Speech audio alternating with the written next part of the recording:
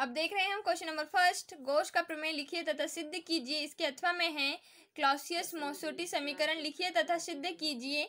Unit second है, question number two, लेंगराज बल क्या है? इसके आधार पर चुंबकीय क्षेत्र में रखे धारावाही चालक पर लगने वाले बल का सूत्र निगमित कीजिए। इसके अथवा में है, एम्पियर का परिपथीय नियम लिखिए तथा इसके, इसे बायोसेवर्ड से प्राप्त कीजिए। Unit third question number third है सीआर परिपथ में संधारित्र का आवेशन तथा निरावेशन के व्यंजक को निगमित कीजिए। इसके अथवे में है ननस्ट समीकरण क्या है, इसका उपयोग लिखिए, उपयोग समझाइए। फिर question number unit four question number four cathode किरण कंपनदर्शी का नामांकित चित्र बनाइए, क्रियाविधि समझाइए तथा इसके कुछ उपयोग लिखिए। फिर इसके अच्छे में है। समस्थानिक किसे कहते हैं? थॉमसन ने धन किरणों के विश्लेषण से समस्थानिकों की खोज किस प्रकार की है? फिर यूनिट फाइव अब देख रहे हैं हम क्वेश्चन नंबर फाइव मैक्सवेल के समीकरण को लिखिए तथा इसे निगमित कीजिए। इसके अथवा में है। आयन मंडल से विद्युत चुंबकीय तरंगों के परावर्तन संबंधी क्रांतिक अपवर्ती तथा सिंकेट नियम के व्यंजन को निगमित कीजिए।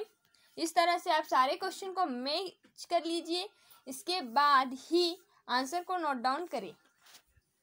गोश के प्रमेय को लिखिए तथा सिद्ध कीजिए। ये हमारा पहला क्वेश्चन है। आप इसे नोट डाउन कर लें।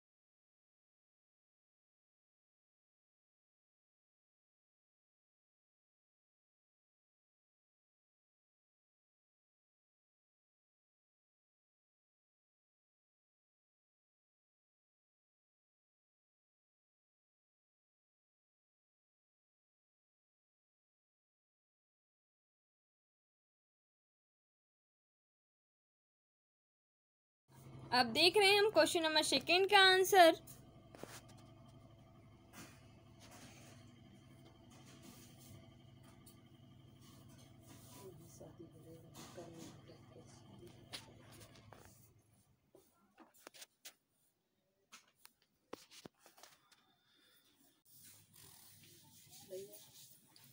अब देख रहे हैं हम क्वेश्चन नंबर थर्ड सीआर परिपथ में संधारित्र का आवेशन तथा निरावेशन के व्यंजक को निगमित कीजिए।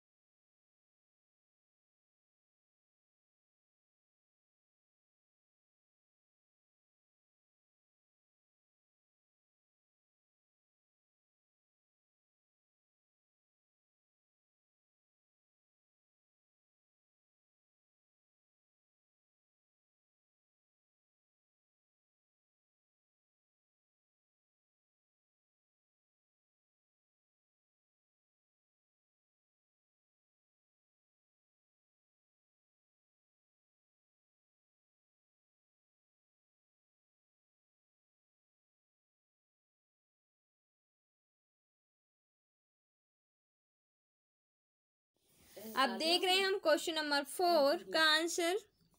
आप इसे नोट डाउन कर लें। आप जितना अच्छा लिखोगे आपको उतने अच्छे नंबर मिलेंगे। तो कोशिश कीजिए कि आप अच्छा लिखें।